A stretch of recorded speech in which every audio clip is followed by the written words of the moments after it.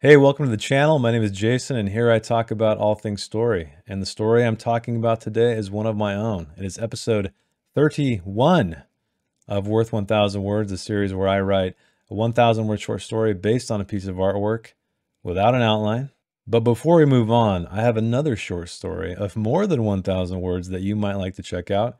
It is my latest fantasy adventure called Forged of Ice and Blood. It is about 8,000 words, so um, a good eight times longer than these stories you usually listen to or read. And all the proceeds are going to a great cause, a charity indefinitely. So I encourage you to pick up uh, an ebook, they're $2.99, or a paperback, which is $6.99. And speaking of that, if you'd rather uh, read the story instead of hear me read it to you, um, I've started to post these on my Instagram, so you can check me out at Jason W. Fuhrman or always on my site at jasonfuhrman.com. I post it there um, as soon as I, um, well, usually as soon as I release the video. And don't forget, if you want to skip around, I have chapter selections because I'm sure uh, not all of you want to watch every little bit of this. I know they're longer videos, but that is enough of that. Let's talk about the music. Let's talk about the soundtrack of the story. Well, this story delves deep into metaphor and subtext and symbolism. So I needed something that was immersive, atmospheric, and, and fit the tone of the art. And I know you haven't seen the art yet, but I think this audio choice will will make a lot of sense once you do. It is by one of my favorite instrumental bands, uh, A Winged Victory for the Sullen is their latest release that just came out called Invisible Cities. So if you're looking for for anything to relax to or write to or create to, whatever it is you're doing, I highly recommend you check them out. But without further ado, let's check out this week's artwork. This week's artwork is titled Whale and it is by a freelance concept artist named Oleg Bulakh from Azov, Russia. This one is, is quite a bit different than a lot of ones I picked. Um, it's it feels more symbolic. It feels more metaphorical. It, it does not feel as if this whale or this flying creature is actually there, because there's a couple things that um, I noticed. And we have this guy sitting on a rock down there. He looks like he's thinking. I mean, I guess maybe he's looking up at this thing. It's, it's kind of difficult to tell. But then this car, it, it drove up this sheer cliff. And it's almost as if he came to this spot to be alone. At least that's what I got from it. And it looks as if the, the whale itself is being pulled from the clouds. So I feel like there's just some deeper meaning going on here. And I think that is why I chose this one. I, I wanted to try to do something metaphorical, something with, with some subtext and and see where this one leads. So Oleg, thank you for the artwork. I I love the originality, and um, let's see what I came up with. Charcoal clouds stagnated outside the window. It was all Nathan could look at, his eyes caught in that wet cement. It only comes out when it storms, Charlie said. Nathan smelled disinfectant and old upholstery. When it storms? Yeah. Why is that? Charlie's lips made air bubbles, what he always did when deep in thought. Hungry for a worm? Nathan said. Charlie didn't laugh. Because it is. The non answer of a child allowed Nathan to free his gaze from the window. Because? Charlie gathered the stiff sheet under his chin. He shivered, so Nathan took off his jacket and laid it over him, arranging the sleeves to his sides and putting the collar just below Charlie's head. Backward kid is my favorite, Nathan said. Still, Charlie didn't laugh. Because it's cold. Does it like the cold? No. Then why wouldn't it come out when it's sunny? Because it's made of the storm. It's sunny on the inside, though. That's where it hides the sun. Why would it hide the sun? The sun is its heart. Nathan touched Charlie's hand through the sheet. That makes sense. If I were made of storm clouds, I'd like to keep the sun too. It's very cold. Should I bring my jacket? No, yours won't fit. I mean, for me, when I go see this flying whale, why does it fly anyway? Charlie shrugged. It just does. Will you come with me? Charlie looked at the ceiling through it.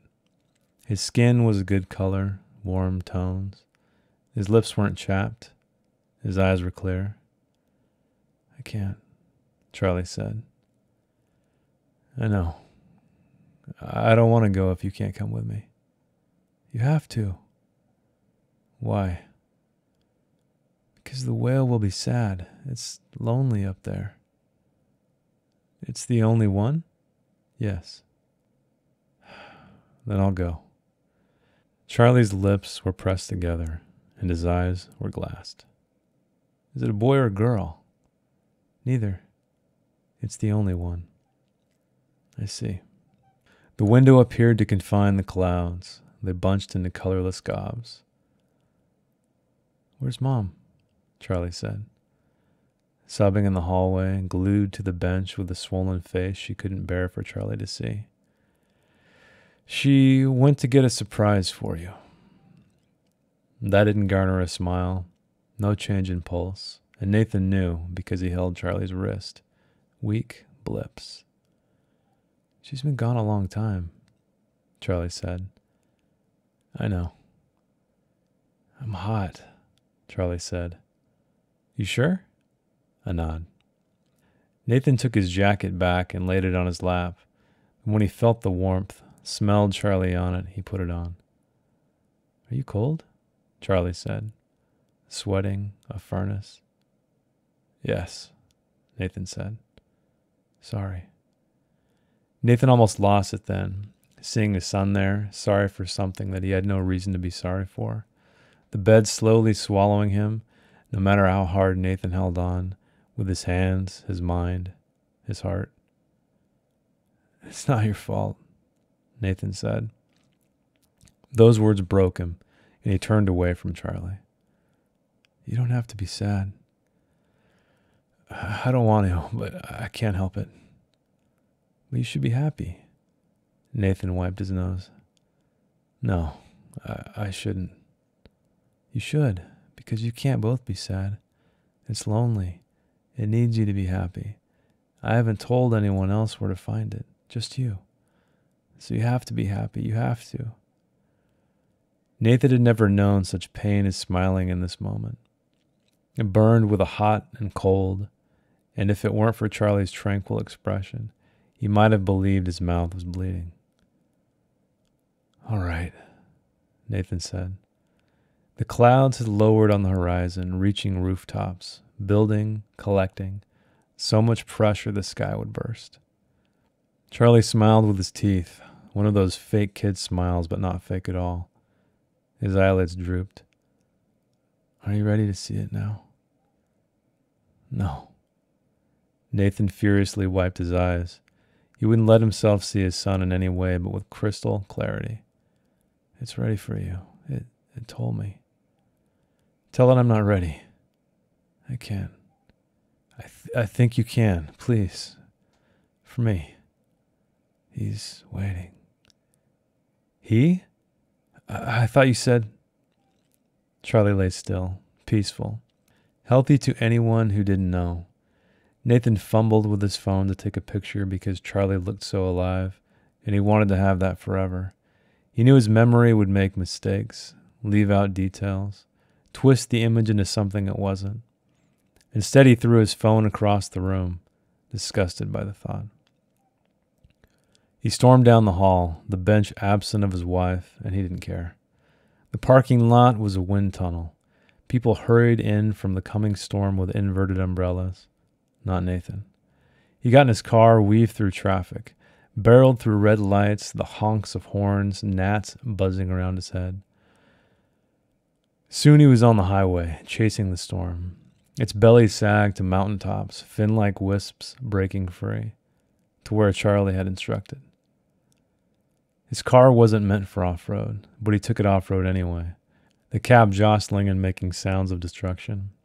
A windy, rocky road led to the darkest and fattest clouds, and he sped toward them, hoping the top ended in a sheer cliff and that would be that. It didn't. A plateau was where he found himself, flat and broad and safe. He exited the car, faced the wind, and when he couldn't face it anymore, he sat. The clouds were so close he could almost touch them. He tried. There was no depth. The sky was a nothingness. And then it showed itself, the whale. It split from the storm in a caress, coasted down to where Nathan sat, close but out of reach. Two fissures opened up along its belly, showing him the sun it had captured, the heart it would share, and that it would keep him warm because the storm was cold. Like Nathan, who took in the sight with tears the wind wouldn't let him have. The first thing that came to mind is the loss of a child. And I know that is cliche, and uh, somebody out there called me out on it.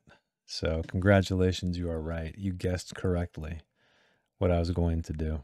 But as I said when I was describing the art, this guy looks like he's not so much paying attention to this thing flying over his head. He's he's contemplative. He's thinking about something. He's reminiscing. He's something, right? And he why did he drive up to this sheer cliff? I don't know. It feels weird. This this whole thing felt like a metaphor to me, symbolic. It didn't feel like this was actually happening. One other thing I wanted to do is I wanted to make this thing very dialogue heavy. A friend of mine and, and really great author, Jason Gurley, a lot of the stuff I've read of his was kind of this ping pong back and forth dialogue meaning uh, short statements and, and responses. And, and really, what that allows you to do is it allows sort of the, the space between the words to speak, which is where the subtext lies. And so you can see here, I'm talking about it only comes out when it storms.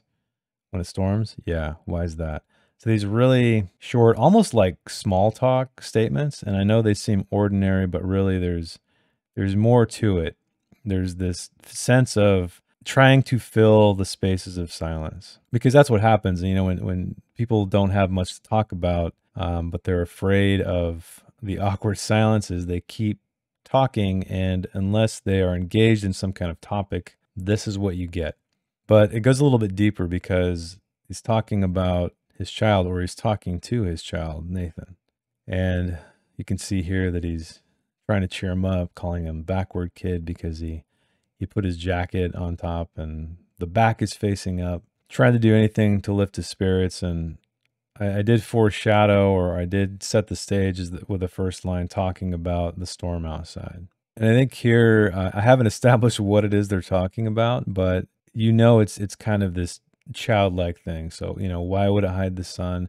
We can already tell that this is very imaginary. Really, I, I hope that I captured this conversation between a son and his child uh, two people who know exactly what's going to happen, who knows the situation they're in, how they are unable to do anything to stop it, and this is their conversation. They're trying to just kind of just get away from reality essentially.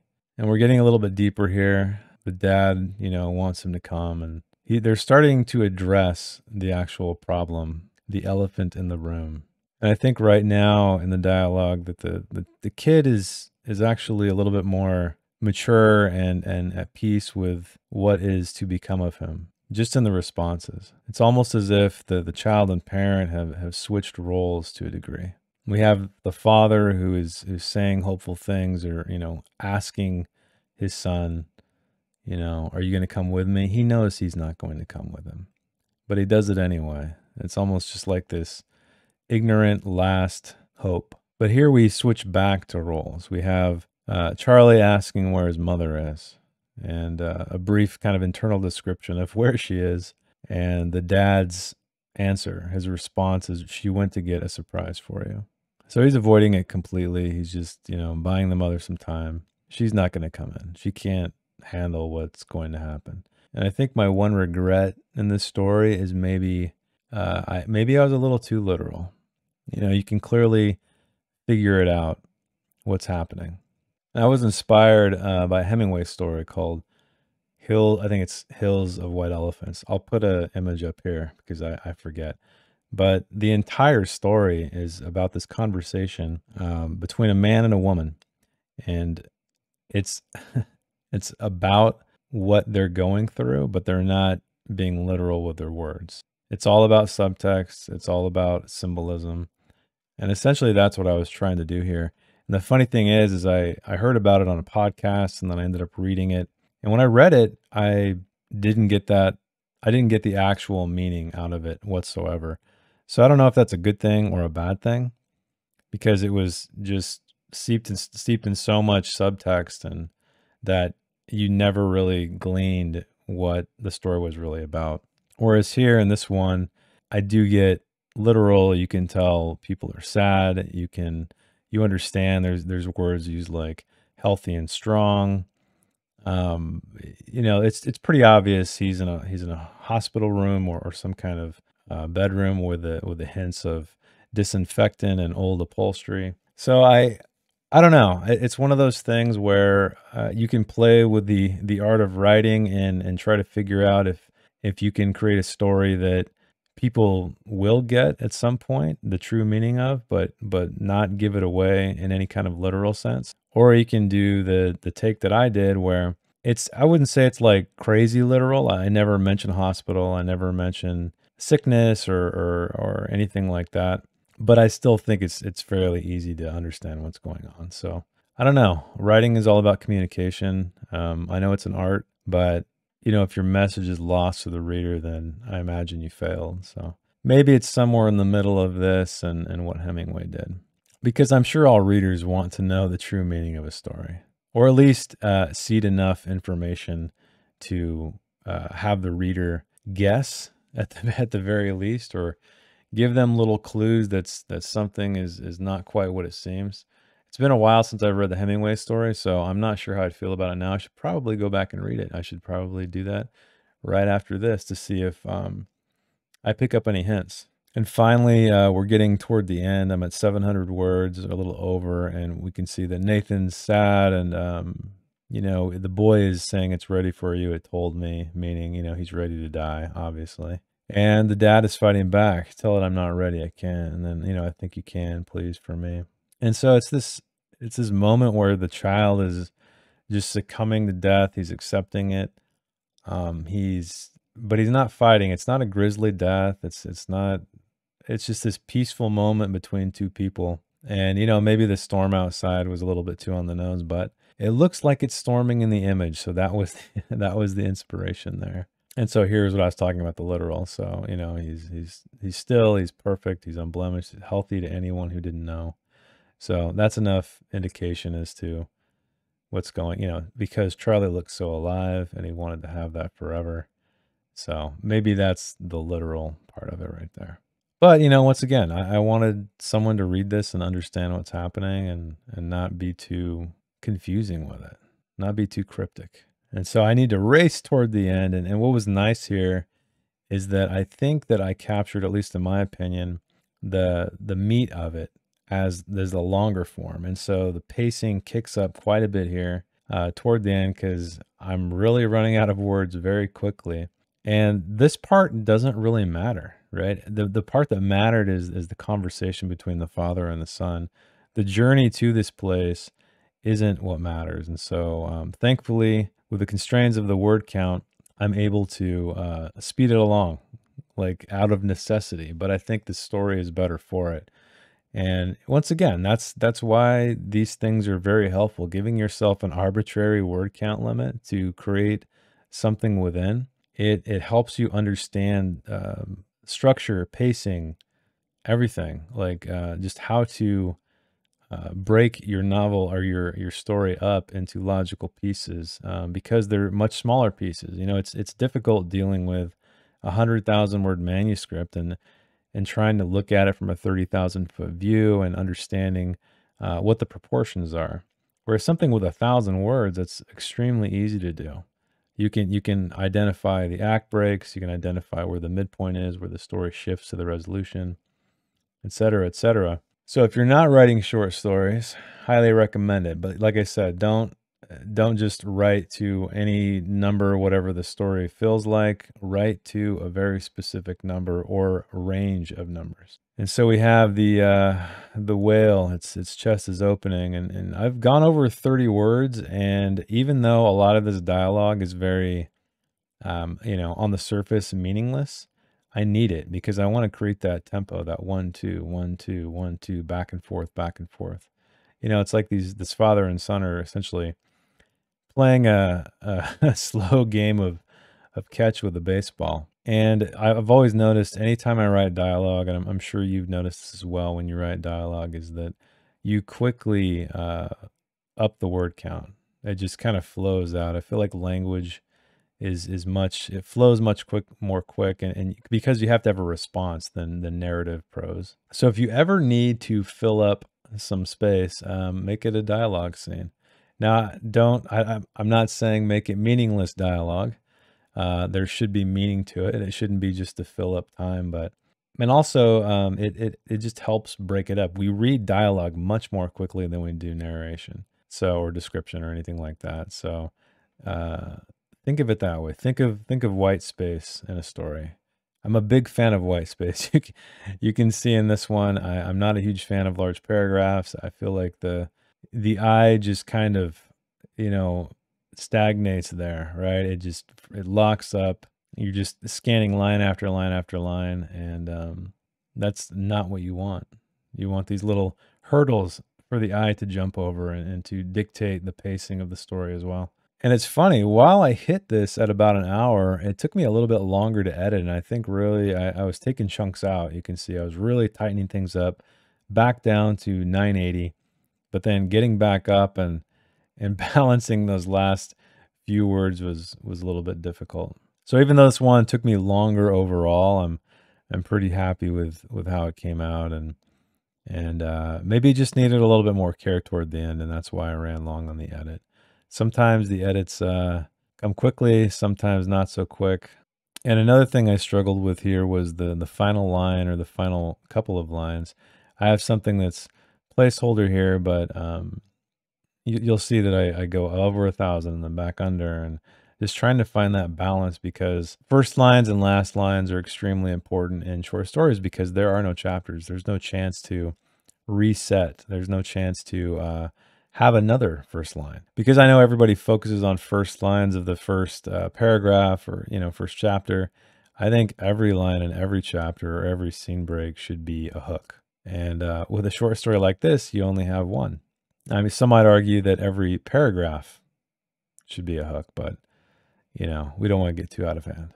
And here I, I started playing around with dialogue. I, I, tried to say, okay, well, he's gonna say something like I'm cold or whatever. I'm like, nah, that's too on the nose. And and so I, I had this image in my head, which I did end up keeping. It's it's a modified version of what you see here, but I like the idea of someone crying, but essentially the wind is not allowing them to cry because it dries the tears before they're allowed to fall. And that's what I have here. You know, he took in the side with eyes the wind dried, blah blah blah blah. I I had a better one. Uh, I finished with a better one, but that's it's the same idea. You can see me going back and forth and trying to reword it, playing with uh, the last 17 words I have. And I believe I have to go up and down a couple times because I I'm thinking, okay, well I can I can add more here. I can I can cut more there to allow me to have more space for this line because it's it is a lot nicer to land closer to a thousand when you finish because then and, and if you're happy with the last line because then you know that um, really it's just a matter of sort of tightening up all the sentences and another thing that's sometimes difficult to know in, in these back and forth dialogues is do you have the he said or so and so said every time like because because really you don't want people to get confused on who's saying what and, and sometimes you can uh, mitigate that when you have uh, stage direction or you know some kind of action before the dialogue.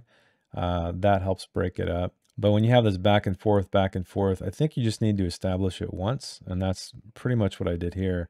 And then once you've established the response, especially because you know there's only two people in the room, that it, it allows you to minimize the, you know, Nathan said, Charlie said, whoever said.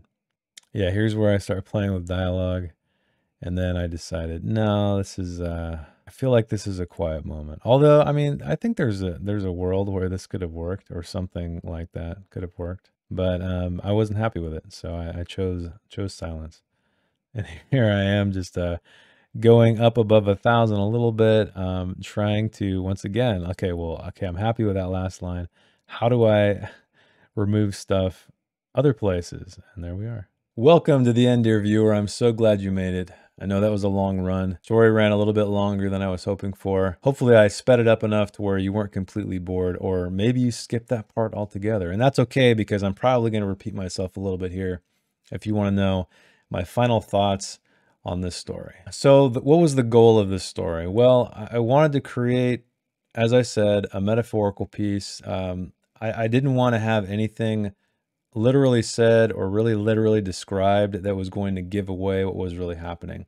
And I know I failed there a little bit, but it was one of those things I was wrestling with about communication versus art. Not that art can't be communicative, but as I mentioned, the short story by Hemingway, Hills with White Elephants, that was completely indecipherable, at least to me. I heard about it. I didn't know what it was about in terms of what the true meaning was. I read it, still didn't know, read an analysis about it, and then went back and read it again and, and still didn't quite understand. So Maybe that's my fault. I'm not going to blame uh, one of the greatest writers of all time on it, but I do need to revisit it. I, I think um, now that I've I've been delving into writing craft a lot more myself and getting a lot more writing done and a lot more reading done, maybe reading it through that lens will help me out a bit. I don't know. Let me know if you've read it in the comments below and uh, if you understood what the hell was going on. So I wanted to capture that. I wanted it to be a subtext of a, a son and a father. The son um, who is is dying in a bed, and they're having this conversation about a fantastical creature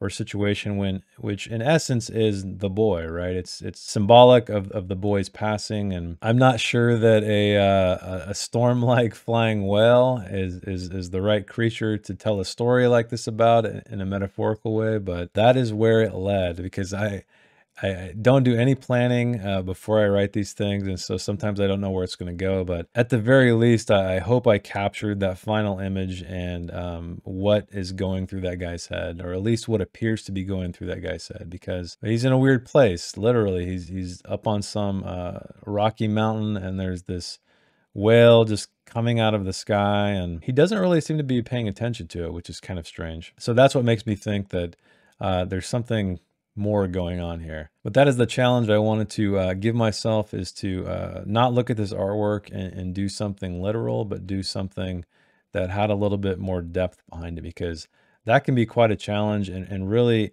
any dialogue you write shouldn't be about what is actually being said. There should be some underlying meaning there. It's all about conflict, it's all about tension, and it's a lot less about giving or receiving information. I know that sounds weird or counterintuitive, but I've read that in many, many books on craft and, and, dialogue writing or screenwriting. And when you start to really pay attention to it, especially in movies, where you can visualize the body language of these characters and how they're interacting with each other, you can see that that is truly the most powerful way. And another thing I wanted to do is, you know, one of my friends, Jason Gurley, who's, who's a really amazing writer, uh, traditionally published, very successful guy. I remember one of his self-published novels he wrote a long time ago. Um, it was he did it Cormac McCarthy style, where there was there was no dialogue tags whatsoever. So it was it was very difficult to distinguish what was narrative description versus dialogue until you kind of got into it and, and got the feeling of it. And I'm sure you've read Cormac McCarthy, and if you haven't,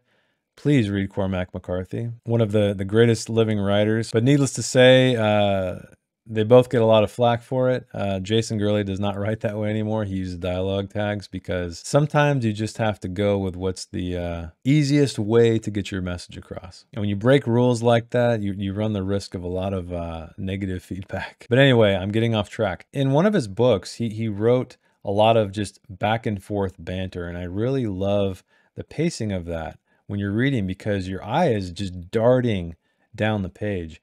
And if you intersperse chunks of narrative description here and there, it's almost like you're you know slamming on the gas and slamming on the brake. And it's this it's this really nice tempo for reading. And, and one thing i can't stress enough is play with white space.